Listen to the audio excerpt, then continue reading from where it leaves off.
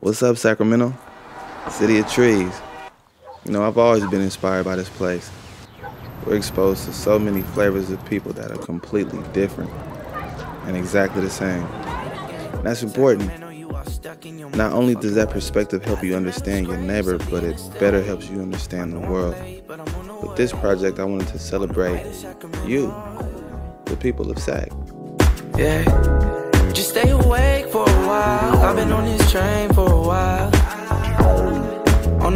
Sacramento. Why'd it take so long? Why'd the train test so strong? It's been heavy on my mental. Ooh. I got five dollars to my name, and I left my bags on the train.